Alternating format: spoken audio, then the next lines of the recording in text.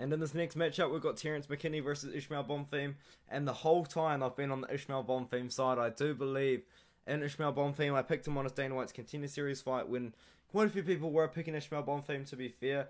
But I saw people on Twitter saying that they were going to line Nariman Abbasov minus 300 and then the odds dropped and everyone was all over um, Abbasov, man, because uh, Bonfim was a slight favourite, I think, in that matchup. But Terrance McKinney, he's dangerous. He's very popular with the fans. Uh, he's very active on Twitter. I think he's just a guy that you can easily be a fan of, in my opinion. I do really understand why he's got a lot of fans. But in this matchup, in this fight, if he doesn't finish Ismael Bonfim in the first round, I think Ismael Bonfim is going to start to take over and win the second and third round. And I've got Ismael Bonfim by decision.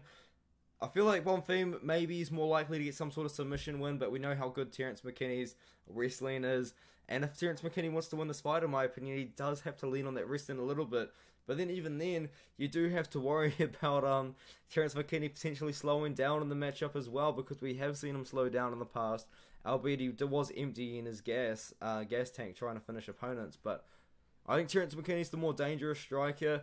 Ismael Bonfim's more technical in my opinion, but he's also likes to brawl as well. Like he's got an amateur boxing background, multiple time national Brazilian amateur boxing champion. I believe an amateur record of 14 and 2, pro record of 4 and 1. I could be wrong, but they're the numbers that I think I can remember.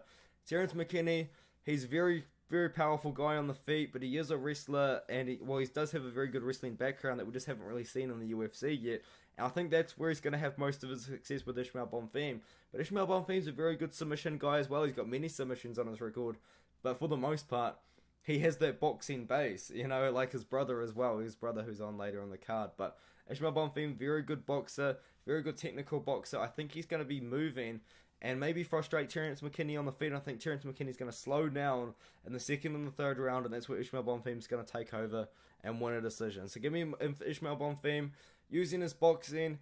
Maybe um, he might have to defend a couple of takedowns by Terrance McKinney, but it did show pretty good takedown defense against Nariman Abbasov for the most part. And even then, if it does get to the ground, Ismael Bonfim's got a very good um, Brazilian Jiu Jitsu background as well, and I think that he would be able to um, at least escape some, some positions that Terrance McKinney's going to get him in, and maybe work for submissions of his own, get the fight back to the feet. I think Ismael Bonfim's been very underrated in this matchup. Terrance McKinney as well, I believe, is very underrated. Ismael Bonfim as well. I've seen Terrance McKinney. He isn't really be, he isn't talking down Ismael Bonfim, but he kind of doesn't seem to be um, rating Ismael Bonfim that highly from what I'm seeing on Instagram and, and, and Twitter, which makes sense. Like that's what you're meant to do. But I think that he's gonna really have to take Ismael Bonfim seriously in the matchup.